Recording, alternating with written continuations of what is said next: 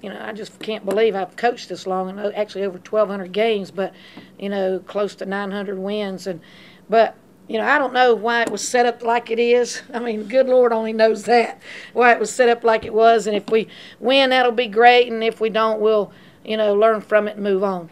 But I don't guess anything could, could, uh, I don't know if, if it could be any better than, than to win it, you know, here at home Sunday against Duke. And me as a player, I feel like she deserves to have 900 wins, and I'm gonna do whatever I can so she can get it.